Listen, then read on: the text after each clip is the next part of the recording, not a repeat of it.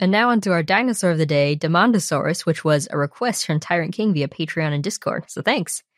It was a Rebbachisaurid sauropod that lived in the early Cretaceous in what is now Burgos, Spain, in the Castrillo de la Reina Formation.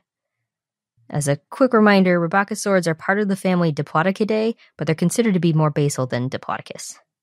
Demandasaurus looked like other sauropods. It had a large body, columnar legs, long tail, and a long, thick neck. It also had simple neural spines.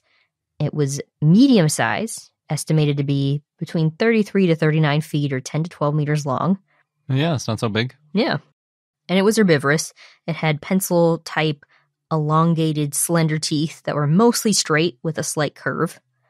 It was named by Fidel Torcida Fernandez Baldor and others in 2011, and the type and only species is Demandasaurus darwini, and that genus name means Demanda lizard. It refers to the Sierra de la Demanda, the mountain chain where the type specimen was found, and the species name is in honor of Charles Darwin.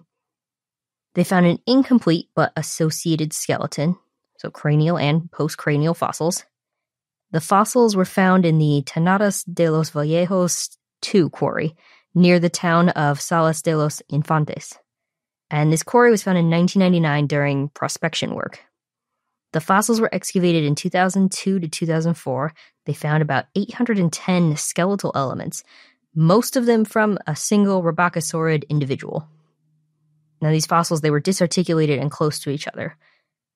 They also found fossils from a small ornithopod, two spinosaurids, and a crocodile tooth.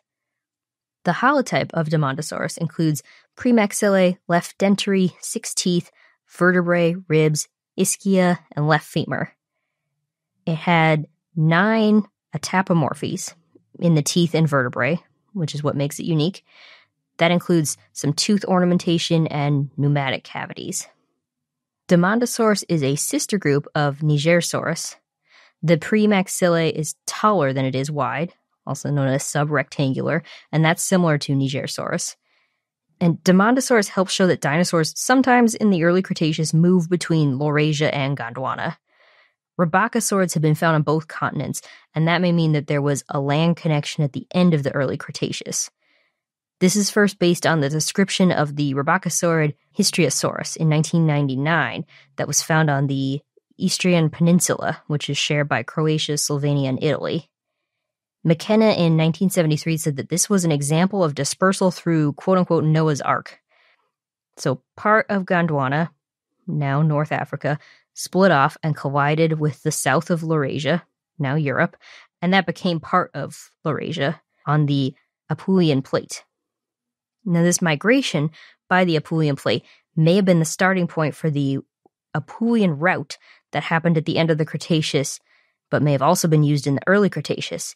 This route might not have been a land corridor, but the islands on the route may have been close enough that some animals could move between them, Hmm. like Demandasaurus or a close ancestor of Demandasaurus. Wading through very deep water or doing a little bit of swimming Yeah, or occasional wading and then getting blown off course by a storm or something. just thinking literal island hopping. Yeah.